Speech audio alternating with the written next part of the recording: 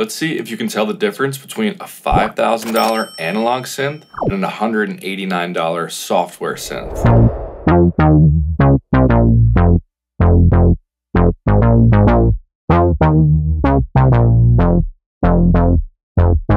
Can you tell which one of those is the $5,000 one? I honestly can't tell the difference. So in this case, A is a Minimoog, which is going for around $5,000 right now.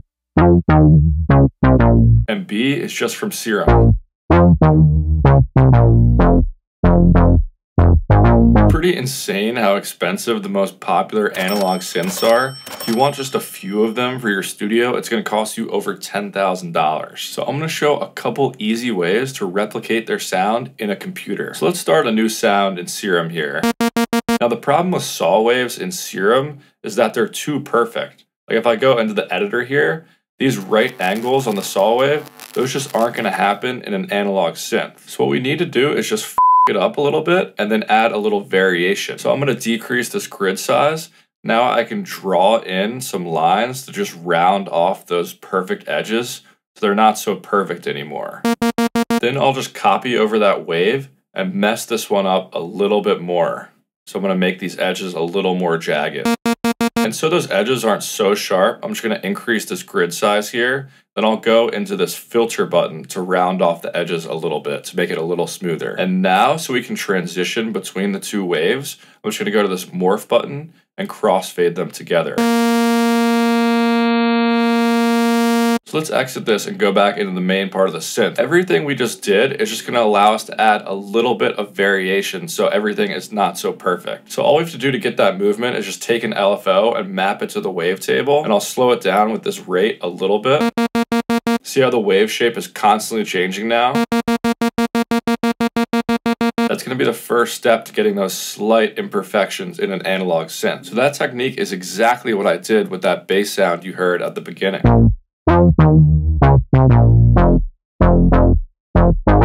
So both these oscillators here have that imperfect saw wave that I created for them. We have LFO3 down here that's just moving them back and forth a little bit.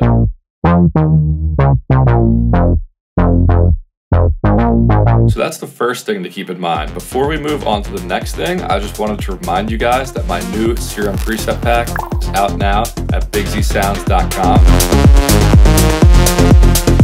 Can hear a preview of all the sounds on my website if you want to go check it out. Anyway, another big part of getting analog sound is having little changes in pitch. My favorite way to do this is with an LFO, so I'm just going to pull up this totally random shape I made. Then I'll take that and map it to the fine pitch of both of the oscillators.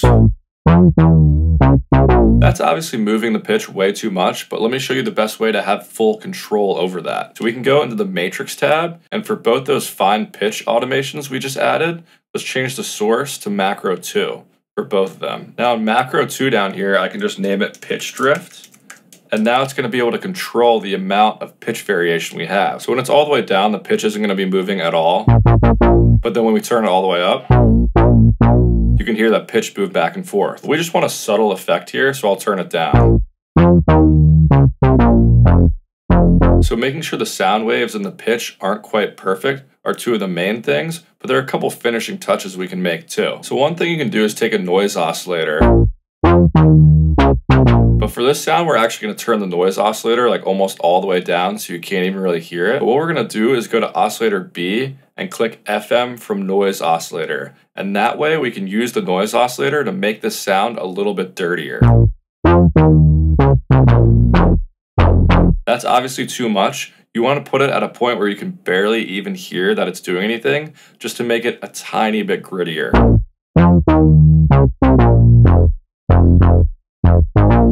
So you'll notice for a lot of these analog changes, they're really subtle changes, but in the end, they add up to make a big difference. The other thing I'm doing is adding some resonance to the filter over here. So here's the filter we have on this bass sound. I'll turn the resonance down and then bring it back in to show you how much it's helping.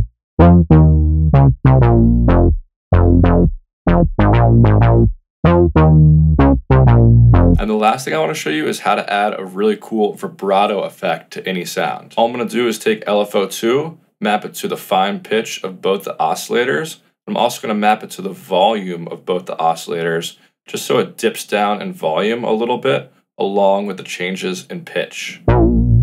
So this is going to be an effect we want to just automate on one or two notes in the bass line. So to do that, we can just go into the matrix tab and for each of the things we just did, I'm going to change the source to macro 1. And you can see the volume changes we just made right here. I'll make sure the source is macro 1 for those volume changes too. So now we have macro 1 down here. I'll just call it vibrato. Now with this knob, we can just add automation on certain notes.